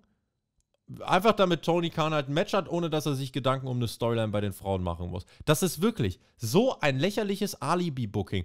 Ich kann, ich kann es nicht anders sagen. Allein heute wieder. Aber, aber, aber, aber, aber, aber, Tobi, Tobi, Tobi, Tobi, da ist doch aus Versehen eine Story drin. Die hat der Tony, Ka- also du hast doch Soraya gegen Tony Storm, das ist doch aufgebaut, die ehemalige Champion. Die hat doch eine Berechtigung, das zu sagen. Aber, aber jetzt hat er die ja vergessen, jetzt macht er ja trotzdem so ein blödes Eliminator-Ding. Und das ist eben billig. Das ist billig. Dann mach doch direkt Tony Storm gegen Soraya und bau das mit einer Ja, guten eben. Promo mal nächste Woche auf. Warum dürfen die Frauen sich nicht selber mal overbringen? Mit fucking Segment? Warum müssen die einfach immer in lächerliche Würfelansetzungen laufen, die aus der Lostrommel kommen und dann einfach Eliminator 18 Mann, 15 Match, 3000 XD? Ja. Und das kann doch dann aber nicht der du- Ansatz du sein. dann einfach noch, du packst Nyla Rose noch einfach rein, nur damit eine von denen, also entweder Hikaru Shida oder Britt Baker gut aussieht in dem Match, dass sie dann nicht dann trotzdem verlieren muss und dann gewinnt dann am Ende doch Tony Storm in einem Match, wo es darum ging, was sie eigentlich eh schon hatte. Bau das doch drei Wochen auf. Die Story ist- ist doch da und sie ist spannend. Ruby Soho hat doch auch noch mitzureden. Ja, aber Mach Ruby- das doch. Ruby Soho hat beim Pay-Per-View gegen Chris Statlander verloren. Follow-up legit nicht vorhanden. Chris Statlander hat Emi Sakura in vier Minuten besiegt. Tolle Katze. Ganz schön habt ihr das gemacht. So, Also Ruby Soho hat keine, keine, das meine ich, keine Titelaspiration, aber sie hat ja Möglichkeiten, da reinzugreifen. Tony Storm und Soraya, da kann sie ja dann irgendwas noch machen. Es ist eine Story, die einfach mit Füßen getreten wird. Das ist einfach so eine Bremse irgendwie so. Ja, jetzt machen wir noch dieses Match und wer dann gewinnt, ah. Und wahrscheinlich gewinnt sie dann noch nicht mal und so. Dann gewinnt dann Nyla Rose und dann, yay. Tony Khan bookt das wirklich, als wäre es die größte Last in seinem Rucksack der Welt und er würde es einfach nur abhaken wollen. Er bookt es wirklich wie etwas, einfach nur, let's get it over with. Einfach nur Cassidy abhaken. Musik, komm. Ja, und, oh, oh. Orange Cassidy. Vielleicht sollte er Orange Cassidy Musik beim Women's Booking hören. Vielleicht läuft's dann. Stell dir mal vor, der würde nur eine von den Frauen behandeln wie Orange Cassidy. Holy shit. Was wäre nur möglich? Naja, außerdem Adam Page gegen Brian Cage und Don Callis wird sein prächtiges Meisterstück enthüllen. Lassen wir einfach mal so stehen. Und damit, Ladies and Gentlemen, ist es natürlich auch schon soweit. Wir sind angekommen. Well, it looked like there's been enough talk. It's time for the main event. Und der besteht aus Darby Allen gegen Nick Wayne. The Five-Fans werden stolz sein. Das Match wresteln beide für Buddy da oben im Himmel, Papa von Nick Wayne. Es bedeutet den emotional richtig viel. Und Tony Khan, der Sadist, hat gesagt, ja, einfach Freunde gegeneinander. Oder einfach so rausfallen. Was, was hätte man aus der Paarung emotional rausholen können? Aber ich habe heute wieder eine Sache gelernt, Marcel. AEW und Tony Khan, das ist nicht Match aufbauen. AEW und Tony Khan ist nur Match bauen. Das auf lassen wir weg. Es ist einfach nur Match bauen. Und auch hier, wir ja. bauen einfach ein Match, wo eigentlich so viel mehr drin gewesen wäre. Na. Ne, aber das, das, also, weiß nicht, wusstest du das mit Defy und in der ganzen Hintergrundgeschichte? Also, das ist so krass eigentlich, was du da alles machen kannst, aber ja, gut. Ja, vor allem, weil die Leute das ja wollen und die kennen das ja dann so. Gerade die Crowd von, von Dynamite, die freuen sich ja dann. Ich finde aber, so ein Turnier ist eigentlich gut dafür geeignet, um solche Matches zu machen, die eigentlich undenkbar sind. Ja. Aber dann mach das nicht in der ersten Runde oder mach wirklich so einen offiziellen Draft, ne? Oder so ein Draw, dass du dann wirklich siehst, wie das ausgelost wird und dann, dann die Reaktion dann auch von den beiden. Oh, scheiße, jetzt müssen wir gegeneinander. Oder eben, dass es sich ergibt, dass dann erst im, im Halbfinale dann diese Begegnung kommt, dass man dann so spekulieren kann. Aber das ist einfach so wegzuwerfen. Und ich wusste das vor der Show nicht. Also, wenn das irgendwo auf Social Media kam, ich habe es nicht mitgekriegt. Und jetzt machst du einfach Darby Allen gegen Nick Wade. Ich gedacht, what the fuck? fuck? Ja. Ist das Main Event jetzt halt. Jetzt ist Main Event, ja. Und dann äh, fand das hier auch in einer ganz eigenen Sphäre statt. Darby Allen wurde ja bei Ort wirklich rausgeschrieben, eigentlich, mit einer wirklich brutalen Attacke vom Luchasaurus. Du erinnerst dich vielleicht. Der war ja nach drei Minuten blutig und war absolut am Ende. Christian hat den mit dem Stuhl zerlegt, den Nick Wayne mit dem Stuhl zerlegt. Und dann kommen die ja raus und wresteln erstmal, als wäre gar nichts gewesen. Zwar beide getaped an Schultern und Rücken, aber trotzdem eigentlich ein Zeitpunkt, an dem das Match gar nicht so in die Geschichte der beiden passt. Ja, also du völlig richtig, wenn du das machst und nicht alles drumherum aufgreifen willst, dann machst du es in einem Turnier, weil Tony Khan das ansetzt und ein Sadist ist. Aber warum, warum dann drei Tage nach dem Pay-Per-View, bei dem beide komplett zerhäckselt worden sind? Das passt halt für mich dann irgendwie nicht rein. Und dann gehen sie. Weil die doch. Nee, weil die halt Bock drauf haben. Die möchten dieses Turnier haben, die vergessen ihren Schmerz. Äh, ein Satz noch, warum ich das auch nicht gut fand. Nick Wayne, ja, okay, schön und gut. Aber das ist ein Main Event von Dynamite. Das soll doch noch irgendwas bedeuten. Darby Allen, ja, aber Nick Wayne in einem Main Event, das fühlte sich jetzt auch nicht so mega groß an. Naja. Ja, ein World Title Turnier, was ich gestern festgelegt habe. Ja, mit glühender Tinte gibt den Handshake vorab und die waren wirklich auch bis in die Haarspitzen motiviert. Ich hatte wirklich das Gefühl, die wollten für den Papa von Nick jetzt wirklich auch was richtig Geiles auf die Matte zaubern. Nicks quasi Ziehvater Darby Allen steht ja hier mit ihm im Ring. Ja? Und Darby war so motiviert, dass er ein Tope nach zwei Minuten zeigt, nicht mal. Und ihn fängt diesmal keiner auf, sondern er wirklich verglüht in der Atmosphäre einfach in die Guarding Rail rein und verschmilzt einfach mit der Guarding Rail. Einfach so und klebt dann da im Boden drin. Und der Nick war richtig geschockt. Er so, dem war gar Nein. nicht Gewinn erstmal, ne? Der kannte den Darby noch gar nicht so gut. Der weiß gar nicht, dass Darby sowas macht den ganzen Tag. Na, er wusste eigentlich genau, dass er das macht. Und der Darby leidet wieder. Das, was er am besten kann. Der ist kaputt, der ist schmerzverzerrt und bringt den Nick aber trotzdem mit seinem Comeback ans Limit. Double Crossbody in der Ringmitte, bis sich Darby plötzlich das Mikrofon nimmt und dann meint, Nick, ey, ganz ehrlich, du kämpfst wie ein Kind. Jetzt schlag mich doch mal wie ein erwachsener Mann, Junge. Und Darby nimmt seine Hände auf den Rücken und will geschlagen werden. Und Nick Wayne deutet an, aber äh, Superkick Party. Er tritt dann nämlich zu. Und Nick Wayne nimmt dann eigentlich Maß und will, will das Match zu Ende bringen. Doch Christian Cage wird auf den Plan gerufen. Der kommt jetzt raus. Willkommen im TV, dachte ich mir, weil Nick Wayne guckt zum Referee, aber ein Match läuft doch. Nein, du bist jetzt abgelenkt, weil es kommt jetzt ein Entrance. Du bist nun ein TV-Wrestler. Und dann setzt sich Christian mit dem Luchasaurus ans Pult und nach der Werbung gibt es die finalen Sequenzen in diesem Match im bzw. neben dem Ring. Da zeigt der Nick Wayne einen Frog Splash nach draußen auf den Hallenboden. Wayne zu als sein Finisher. Wird genoselt von den Kommentatoren. 1-2 Kickout von Darby. Leider der Finisher von Wayne nicht, nicht so wirklich prestigeträchtig präsentiert. Nächster Cutter vom Top Rope gekontert. Darby sieht die Chance. Coffin Drop auf den Rücken will er zeigen. Aber er zögert. Der macht's doch nicht. Das ist der Darby, der Nick gerade gesagt hat, sei keine Pussy, der springt dann selber nicht. Und Nick Wayne nimmt den Last Supper, damit hat Darby schon ganz viele Matches gewonnen. 1, 2, Kick-Out. Wayne's World gekontert, Einroller Darby, Springboard, Crossbody, Crucifix, drei Nearfalls in wenigen Sekunden. Code Red, vierter Nearfall innerhalb von wenigen Sekunden. Und dann gewinnt Darby mit einem neuen Submission Hold. Das ist so eine, boah, TJ könnte es noch besser erklären, das ist so eine Art, weiß nicht, Butterfly Stretch mit eingearbeiteten Storms. Also du nimmst durch die Arme des Gegners hinter dessen Rücken, klemmst aber dabei seinen Kopf quasi nach vorne weg und trittst dann noch mit den Beinen drauf. Also das sah schon, sah schon ordentlich aus. Und damit So hat Darby der, das ja. Match gewonnen. Ja, so heißt der Move. Ja. Ja, also da wird tatsächlich Tito immer gut. Ich habe mir aufgeschrieben, Schultern verdrehen und Tritte auf den Kopf. Also so heißt der für mich. Hm. Äh, der, sah, der sah schon übel aus. Also erstmal zwischendurch Promo, war ganz interessant, ne? Einfach so, ja, schlag mich doch mal fester, da geht einfach das Training weiter. Das heißt, so wichtig kann dieses Turnier gar nicht sein, dass der da wieder noch gewinnen will. Okay. Ähm, mit dem Coffin Drop, jetzt kenne ich mich natürlich nicht gut genug aus. Bin ja noch nicht so lange bei Dynamite, hab's nicht so. Ist das nicht so eine, so eine äh, Story-Geschichte mit dem Coffin Drop, dass der Davi das macht, weil weil er dann stirbt oder weil er sterben will oder weil sein Leben so kaputt ist, dass das irgendwas Trauriges ist, dass er diesen Coffin Drop in den Sarg macht und dass er dann sagt, ich mache den jetzt nicht an Nick Wayne, das hat er nicht verdient, das passt sich nicht. Das kann sein. Schreibt das gerne in die Kommentare und klärt mich auf. Und ansonsten, der Finisher war dann wieder cool. Aber in dem Match, warum bringt er jetzt einen neuen Finisher gegen seinen eigenen Schüler? Um den jetzt, nachdem er gerade gesagt hat, komm, wir müssen jetzt richtig kämpfen, will er den jetzt doch schlechter aussehen lassen oder will er den jetzt noch mehr verletzen? Weil du hast es ja gesagt, jetzt bei All Out, die wurden ja so zerfleischt und jetzt macht der Darby Allen auf einmal so einen krassen Finisher, wo der da die Schultern komplett auseinanderreißt. Habe ich nicht verstanden, aber Glückwunsch, Darby Allen, du darfst jetzt gegen Roderick Strong antreten nächste Woche. Wer gewinnt das? Ja, Roderick Strong, weil das die Story ist. Hätte mich halt gefragt, hätte man nicht Darby gegen wen anders stellen können und sich das Match mit Nick Wayne aufsparen können? Das war so meine erste Frage. Hangman und dann hättest du sogar ein Main Event gehabt. Ja, Hangman oder Takeshita oder ja, wobei Takeshita, der gescrewt wird von Omega. Also Omega und die Bucks haben wir heute zum Beispiel gar nicht gesehen. Die waren ja Nee, eigentlich. Die bereiten sich auf die Matches gegen äh, Prinz Nana und 12 vor. Hm, Collision machen die vielleicht am Wochenende. Das Ding ist halt, ne, Darby hat gegen Luchasaurus House of verloren beim Pay-Per-View, wie ein 7-1 im Fußball. Und jetzt, ein paar Mhm. Tage später, großes Comeback, dann spielt er doch Finale so ungefähr. Äh, das ist halt so ein bisschen das, was nicht hundertprozentig passt, aber trotzdem, all das war ja irgendwie ein Stück weit trotzdem fokussiert. Du hast trot am Anfang der Show hast du Christian Darby, Nick Wayne weitergeführt, am Ende hast du es weitergeführt. Und wir wollen immer, dass Dinge nicht einfach passieren, sondern einen Fokus haben. Und hier hatten sie das. Und deswegen, das muss ich loben. Aber ich hätte in diesem Turnier tatsächlich jemanden wie einen Jay White, der ist auf einer Winning Streak gerade, der hätte in dieses Turnier reingekonnt. So wie du gerade gesagt hast, Takeshita gegen Jay White im Halbfinale, stell dir mal sowas vor.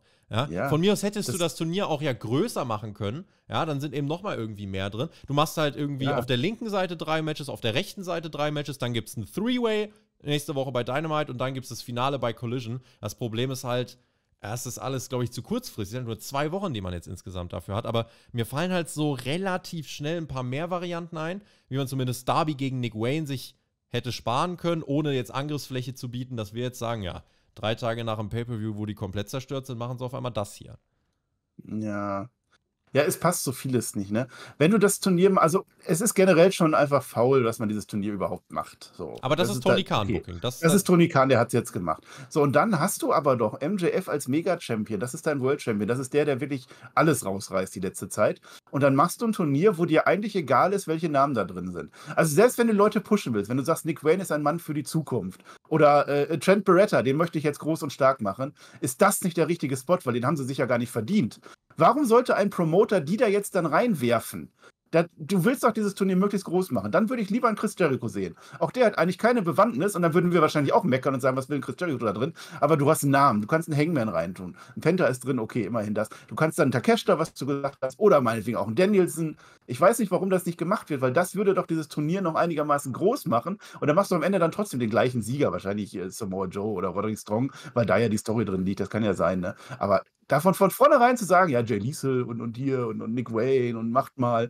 Der, die haben das nur gemacht, damit in der ersten Runde dieses Match stattgefunden hat. Ja, hm, toll. Die Story allerdings in dem Match, und das finde ich gut, Nick Wayne hat ja jetzt durchaus Gründe, zu Christian Cage zu, äh, zu wechseln. Er hat gesehen, wie krass die sind und er hat gleichzeitig gesehen, dass Darby Allen jetzt vielleicht doch noch stärker ist, der ihn dann noch ein bisschen bevormunden will und am Ende dann doch fertig macht. Die Story wäre da, dass er zumindest mit dem Gedanken spielt, okay, aber dafür brauche ich doch kein World Title äh. Das kann ich doch dann auch so einfach machen.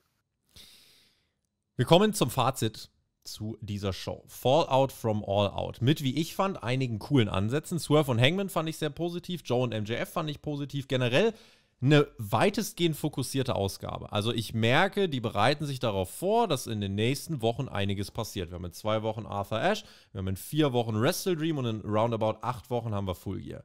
Also das ist jetzt schon, also ne, muss jetzt auch mal. Ich meine, gut, wir hatten jetzt zuletzt eine Stadionshow und ein Pay-Per-View, da hat man es nicht so viel gemerkt, aber hier finde ich, jetzt merkt man den Fokus, das möchte ich auf jeden Fall, ähm, das möchte ich loben. Aber so ein paar Kleinigkeiten, finde ich, gibt es immer noch, wo man merkt, ah, da, da, ist, ähm, da ist Tony Khan einfach sehr eigen. Und ich glaube, wir zum Beispiel Mhm. scheitern oft, oft auch dran, das zu verstehen, weil wir sehr auch ein WWE-Denkmuster haben. Es gibt ja auch Menschen in unserer Community, die schreiben, ihr müsst euch vom WWE-Denkmuster lösen, dass alles irgendwie aufgebaut sein muss oder so. Es gibt einfach jede Woche Matchcards, die führen zu anderen Matchcards und ab und an gibt es mal Matchcards am Sonntag, die im Pay-Per-View sind. Also es gibt Ja. Fans, die sagen, das ist der Ansatz und der ist anders, das muss man akzeptieren. Schreibt uns das gerne in die Kommentare. Ich finde, das ist sehr spannend zu diskutieren.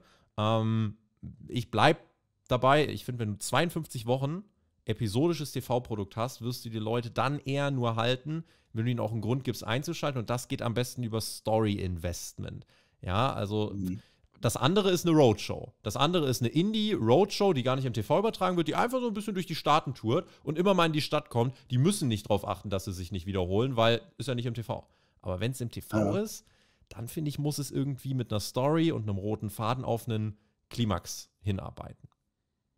Ach ja, das ist die alte Debatte, die werde ich jetzt nicht wieder aufwärmen. Es ist ja im Fußball genauso. Ich gucke mir, weil ich BVB-Fan bin, gucke ich mir die BVB-Matches an, weil ich interessiert bin und invested bin da drin. Wenn jetzt ein tolles Match in England kommt, interessiert es mich persönlich nicht, aber es gibt Leute, die gucken sich das gerne an. Andere gucken sich jedes Fußballmatch gerne an und wenn es zweite Liga in Polen ist, weil das spannend ist, weil das Fußball ist, weil man da eine andere Story kriegt.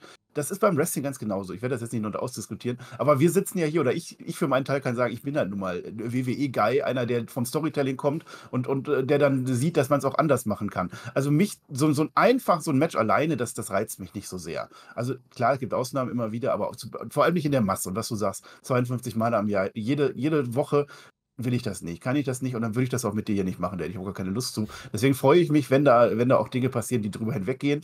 Und da muss man einfach knallhart sagen, äh, es kommt auch an, was Tony Khan will. Du sagst, Tony Khan zieht seinen Stiefel durch, ist ja in Ordnung, kann er ja machen. Dann ist es halt eine Open Challenge, Emi Sakura gegen Chris Statlander. Okay, ist auch ein Titelmatch, kann man Mhm. machen, ist in Ordnung. Dann gehst du aber von 81.000 in London auf 3.500 in Indianapolis runter. Das ist dann halt so. Ne? Und dann sind wir damit zufrieden und dann passt das auch. Diese Show, und dafür bin ich ja da, fand ich in Ordnung, würde ich sagen. Also es war jetzt nicht so das Mega-Highlight. Ähm, wir kommen jetzt aus zwei krassen Shows raus. Da muss man auch mal sagen. Ein bisschen runterkommen, ne? das kann man jetzt schon mal auch verstehen. Neue Sachen aufbauen, alte Sachen weitermachen. Das hat, das hat schon ganz gut geklappt, finde ich. Man hat jetzt auch ein gutes Tempo. Ne? Nächster Pay-Per-View ist jetzt gar nicht so lange her, du hast es gesagt. Und danach geht es dann Full Gear und so. Das ist, glaube ich, ganz gut, dass man inzwischen noch geschaltet hat, dass wir jetzt nicht so ewig lange Fäden machen müssen. Ähm, Auftrag haben wir gesagt, hat ganz gut gepasst. Eine AR Fox, haha, das ist der Running Gag, meinetwegen.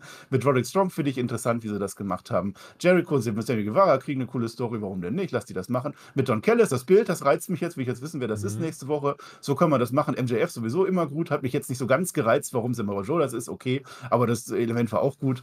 Roderick Strong musste gewinnen, ja, brauchte ich dann nicht. Tony Storm, absolutes Highlight. Das ist aber auch jetzt nur so persönlich, weil ich das einfach, das ist genau mein Humorzentrum. Da fliegt da der Schuh. Äh, und Main Event, ja, du hast eine Story drin mit dem Nick Wayne und so. Hat vieles nicht gepasst, wir haben es gerade angesprochen, aber dann konnte man das so machen. Der Turnierbaum geht weiter. Es geht auch relativ zügig. Es ist ja jetzt auch kein Turnier, was über Wochen und Monate geht oder wo dann direkt der Champion gekürt wird. Deswegen kann man das auch verzeihen. Dann ist es jetzt halt ein bisschen kleiner. Wir gehen dann nach, nach äh, äh, Grand Slam gehen wir dann rein. Dann ist es MJF gegen einen von denen und für das Match, das wird dann schon passen. Deswegen, ich meckere da gar nicht zu früh. Ich, ich bin für den Moment jetzt erstmal in Ordnung und fand das in Ordnung, diese Show. Aber mehr dann auch nicht, fand ich. Du kannst dir aber jetzt schon mal Gedanken machen für traumhafte Wortwitze in Richtung Wrestle Dream in vier Wochen. Da möchte ich, dass du wirklich in einer Review mal richtig was abreißt. Also da erwarte ich was Ja. von dir. Im Gegensatz zu sonst, ne? Da, da freue ich The mich. dreams are made of this, zum Beispiel. Da freue ich mich drauf. Ja. Und ansonsten, glaube ich, hätten wir es für heute. Das war unsere Ja. AEW Dynamite Review. Ich bin sehr gespannt auf euer Feedback. Ich fand, das war eine fokussierte, ordentliche Show. Ich habe schon schlechtere Dynamites in den letzten Wochen gesehen und bin gespannt, wie es dann nächste Woche weitergeht. Es gibt auf jeden Fall ein paar Punkte, die ich sehen möchte. Und wir werden wieder für euch da sein. Wir werden das Ganze besprechen. Ich verweise nochmal zum Ende sehr gern also auf den neuen Merchandise. Also ich habe gerade parallel, während wir gepodcastet haben, was die Leute schon wieder bestellt haben. Also grüne TJ-T-Shirts. Es ist wirklich ganz, ganz spannend zu sehen, was. Äh, Auch was, habt ihr ein T-Shirt? Und ist das Weber-Shirt? ja, also dann schick mir bitte, dann das können wir machen. Dann machen wir bei dir ein MW und dann kriegt der Herr Weber ein Shirt. Dann machen wir ein Marcel Weber Shirt. Und du wirst auch Ja. an den Einnahmen beteiligt. Das heißt, wenn das viele Oh. Leute kaufen, kriegst Oh, du vier. wo, wo, was, wie? So. Einnahmen. Einnahmen ist gut.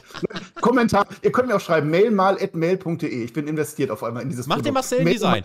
Die. Community Mach Design. dir- Schick das hin. Ja. Wenn das ausreichend viel Quatsch und Scheiße ist, dann nehme ich das und dann wird das ein T-Shirt. Und dann So. verkaufen wir das. Und ich werde euch nicht beteiligen. Ich werde meinen Anteil nehmen und werde dafür zu Bubble gehen. Und dann werde ich Schwitzer durchschlägen. Und mehr habe ich auch nicht zu sagen. Dankeschön und auf Wiedersehen. Ich wollte dir eigentlich die Schlussworte geben, aber kann ich jetzt Das waren mehr. sie. Das waren sie. Naja, dann verbleibe ich einfach nur mit GW. Genießt Wrestling. Guckt mal in den Merch-Shop rein. Also auch, ihr müsst nichts kaufen oder so, aber mich interessiert einfach das Feedback. Wie findet ihr die, die Designs? Schreibt uns uns das sehr gerne. Und ja, wie gesagt, wir können Community Design machen. Dann hat der Marcel bald von euch da ein Ja. schönes Shirt drin. Das ist doch mal eine Sache. Ja.